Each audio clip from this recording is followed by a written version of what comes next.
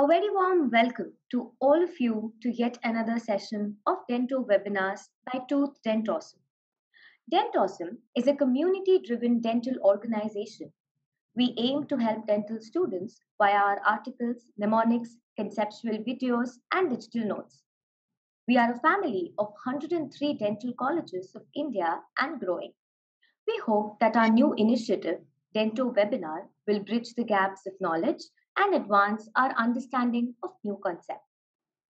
Today, we have with us an enthusiastic, intelligent, and a very hard-working dental student, Dr. Raj Bhuktani. Dr. Raj is the recipient of a gold medal in oral and maxillofacial surgery in his final year university exams. He has also received a medal from the Indian Society of Pediatric and Preventive Dentistry for being a meritorious student. Congratulations, Dr. Raj, for such great achievements. Currently, he is an intern at the prestigious Government Dental College and Hospital, Ahmedabad. Today, he is going to answer a few of our questions, which are for sure going to help all of you undergraduate students to ace your exams. We welcome you, Dr. Raj. Thank you so much, ma'am. Thank you for having me. Okay, so let me begin with my very first question how do you feel on receiving not one, but two medals for your excellent scores in your final year? Uh, it feels amazing. It's really nice because it's a, like a dream come true moment for me. Not for me, just my just goal for my family. Because I have dreamed for this gold medal from as uh, I was in 12th standard onwards. So it feels great, a proud moment for me, for my family, for my relatives, friends, seniors, every one of them. It feels good. That is great. So, we all have one main study mantra or one thing that keeps us going, keeps us motivated. What is that thing for you? Main study mantra for me is uh, quality reading, not a quantity reading. Main thing is that see as i believe only in quality reading i have seen many such my friends colleagues they do like three four times they read a subject. And as far as i have concerned i have read just once or twice. But that once or twice would be equal to eight nine times of reading that subject. Main thing about quality reading is that uh, many of us will be like uh, first reading will be like will read like a novel then second time will read to understand the subject and third time we'll read to mug up the subject. It's not for me it's not like that.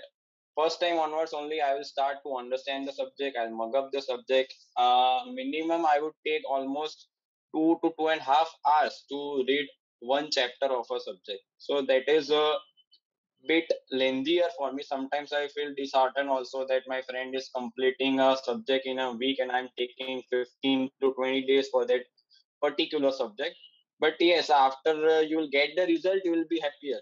Definitely happier. So quality reading is the main thing. And don't take much stress as far as the exam is uh, approaching you. That is the main thing. If have faith in you and uh, work on it. Just have faith and confidence in. That's the main thing. That is such a great point. Thorough reading quality reading more than quality re- quantity reading that is really a great mantra that we all should follow. Can you also share some time management tips, both while, while you were studying, while you were preparing for your exams, as well as while you were writing paper? It is very difficult to complete the paper within the stipulated amount of time with long answer questions as well. So, can you share some time management tips with us? Yeah, uh, see, time management, as far as I am concerned, I am a little bit orthodox in that uh, way because uh, first of all if you want to manage the time for studying final year subjects do one thing don't make a timetable. That is the main thing. Never never ever make a timetable because as soon as you make a timetable and fall short of fulfilling it you will make another timetable or fulfilling that first timetable. That is the main thing.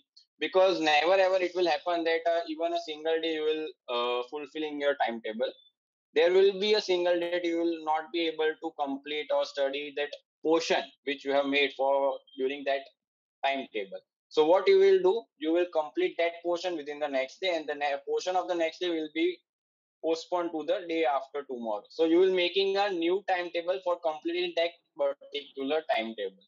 So avoid that. Just make a goal that uh, i have to complete this particular subject in this 15 amount of stipulated time.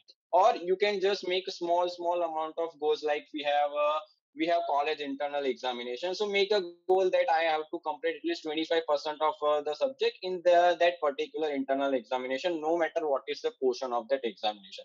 I have tried this.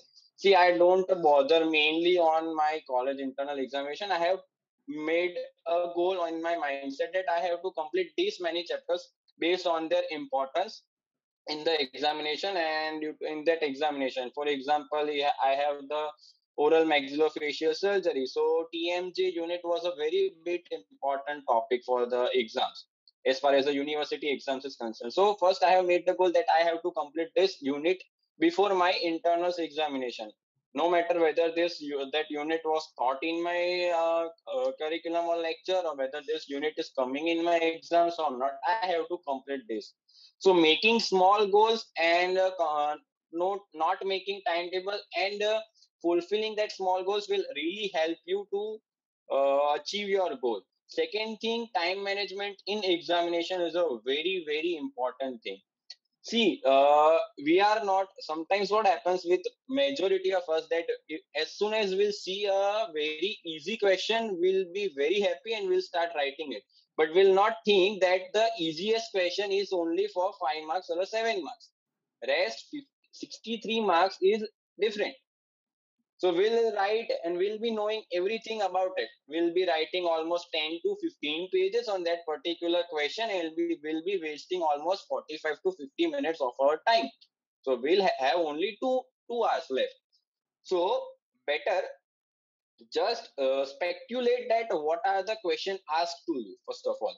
Then speculate what are the content available to you. I would prefer that I will be writing down the question which has the least content but that content would be sufficient enough to fetch me maximum amount of marks. So for that what we have to do just you segregate the questions. For example in gujarat university we'll having almost four seven markers and six five markers and 12 one liners will be having. So total amount of questions would be 10 will be long answers and 12 will be one liners and total amount of time we will be having is 180 minutes. So you, i have segregated that i'll be uh, paying amount almost 20 minutes for 7 markers and 15 minutes for 5 markers. You can also do likewise that you will segregate one and a half hour for section 1 and one and a half hours for section 2. And uh, for that, if your 20 minutes for that 7 markers is finished, then leave that question. Leave pages, one and uh, one to two pages for that question, but leave that question. Don't attempt to write as soon as your 20 minutes is over. That is the main thing. Second thing, draw as many figures as you know. Figures will always help to fetch you more marks. Then underlining the keywords. Keywords are is the most important thing that would help to fetch you more marks as far as the uh, university examinations are concerned. That is great. So, what we can get out of this is that we need to focus on the entire paper and speculate the entire paper instead of focusing on the easier questions and attempting them first. Keywords and diagrams. That is really great. Now, in the final year, it is the last year of our education and we are progressing towards our internship next. We are very much gelled with our friends. We know the city we are staying in and together with that, we have eight huge subjects. We have clinicals. You also have a social life. So, how do you manage all of this and deal with all the stress around final year? First thing is that don't take stress. First of all, uh, I have seen that as soon as the third years will be promoted to final years, the first thing that will strike in their mind is that we are in final years. So we are having eight subjects. How we are going to complete? That would be the most and the first thing they will forget about it. If you have completed nine subjects of dentistry and that also you have completed DADA, that carving that you are not able to do, you can complete definitely the eight subjects because you are going to clinic since your third year. So don't take the stress second thing uh, yes social life is very much important so what you will do, uh, what I have done is that I have attended my every college function, it whether it be a freshers party or whether it be a college fest, cultural fest. I have participated in all the dance competition. It's there. So it's not that I'm a, like a bookworm or I will always study or not participate in that. Yes, I have uh, lived my social life also. But the main thing is that I have told you earlier also that make small goals. That is the main thing. If uh, I, if it is come for example if i have decided that will complete uh, for example in prostho will complete tooth preparation chapter in this uh, two or three days then complete it and uh, leave rest of the and you can enjoy the rest of the time which is available for you. Don't take much stress. Yes re, uh, start from the starting itself. That is the main thing. If you will uh, keep it for the last moment then it would be a very hectic and very stressful condition. Secondly don't take much stress. That is the main thing. Have faith in yourself. That is the main thing. Have faith in yourself. Have faith in uh, any god which you are worshipping. Have faith in god. Have faith in yourself. You will be everything will be fine. That is great. Now you have received a gold medal in oral and maxillofacial surgery so can you elaborate on your study strategy for this particular subject Okay, uh, oral and maxillofacial surgery. The name itself is very large, but the subject is not that hard. It is as if it appears. It's a very basic subject, and the main thing. Uh, my HOD of oral maxillofacial surgery on the first lecture itself, she told that oral surgery 70% is of common sense, 30% is of anatomy. 70% is of oh, common sense and 30% is of anatomy. Now, main thing for this subject is that okay, you have to know the basics. If you have done your general surgery very well, then you will be excellent in that subject. For example, if you have a question uh, like uh, write the management of uh, uh fractures, that is the question to you in your university exam. Uh, most of what uh, the students will write, they will start from the clin- all the clinical features and etc. etc. And as far as the treatment, they'll write that we have cortical screws, mini plates, wiring, intraosseous wiring, etc. etc.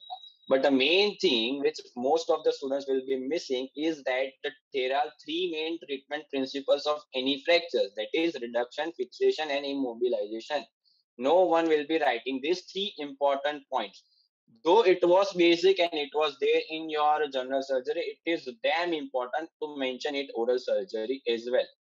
Right? this was the example right? So they uh, stick to your basics stick to your basics. That is the most important. Don't feel that it was uh, the point of general surgery. Yes you can mention it in oral surgery second thing in oral surgery is that see through the figures.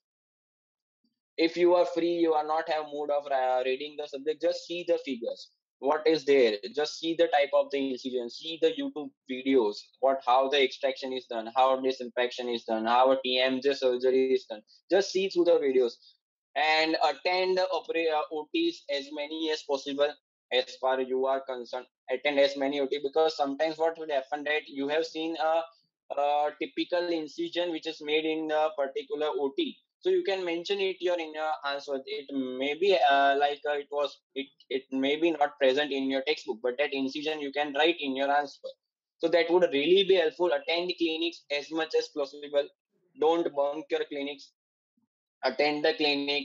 Uh, uh, go through the figures as much as possible. Go through the subjects. Main thing will be marking down the keywords in your textbook and uh, second, uh, so mark down the keyword itself. During your first reading itself, mark down the keywords. Don't do novel reading. That is the first thing. Go itself like you are going to mug up the subject or you are going to understand the subject. So, so basically, on your first reading itself, you have to mark down the keywords and you have to list down the keywords in a paper. So it would be helpful for you in revising at the last moment. Okay, so Dr. Raj, lastly, any final words of advice or motivation that you can give to your juniors? Yes, sir, definitely. See, don't take stress much. That is the main motto. And main thing is that don't take stress on how to revise in your examination. The main thing is that just don't jot down the keywords in a paper. Basically, I had my exams on a stretch. No holiday was uh, there between two subjects so what I did was basically I just jotted down the keywords of important topics and I just go through the uh, went through the keywords in that speculated time because I just had almost 10 hours before one examination. So it was not possible for me to go through whole subject in the in that 10 hours. So just go through the keywords. Second thing, uh, final tip would be that uh, have faith in yourself, have confidence because that confidence can go and make you score wonders See, as far as your practical is concerned, confidence is the most important thing rather than, yes, knowledge is equally important, but that extra edge which a gold medalist requires uh, is that confidence. Because once you will, if you will had confidence, know that examiner will definitely give you one marks. Uh, if you are saying a wrong answer also. Okay. So have confidence first thing have knowledge but have equal confidence don't be disheartened don't be stressed it is just a university exam don't think about final year or anything have confidence go through and it will be right Thank you so much, Dr. Raj. This was a wonderful session. I'm hoping that all of your juniors, all our viewers have got to learn a lot. They must be truly motivated right now after hearing all of your words. Also, congratulations once again to you and all the very best for all your future endeavors. Thank you so much. Thank you for having me, and all the best for my upcoming juniors and juniors. And they, may they excel all everything in their particular subjects. Thank you. Thank you so much. Thank you for watching.